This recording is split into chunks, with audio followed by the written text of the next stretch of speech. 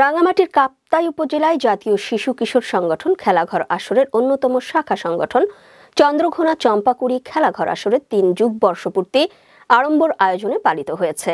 শুক্রবার KPM brickfield মাঠে দিনব্যাপী আয়োজিত অনুষ্ঠানের উদ্বোধন করেন কর্ণফুলী পেপার মিলস লিমিটেডের ব্যবস্থাপনা পরিচালক প্রকৌশলী স্বপন কুমার সরকার। অনুষ্ঠানের শুরুতেই সম্মিলিত জাতীয় সংগীত পরিবেশনের মধ্য দিয়ে জাতীয় ও খেলাঘর পতাকা উত্তোলন করা হয়। এরপর খেলাঘর আসরের দলীয় গান পরিবেশনের মধ্য দিয়ে অনুষ্ঠানের সূচনা করা হয়।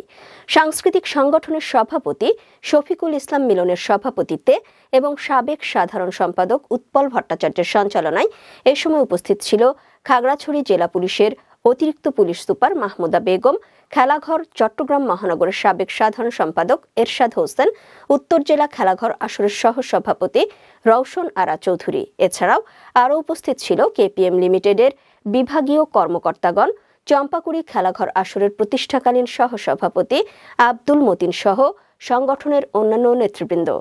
এর আগে কেপিএম ব্রিকফিল্ড মাঠ থেকে একটি বর্ণাঢ্য শোভাযাত্রা বের করা হয়।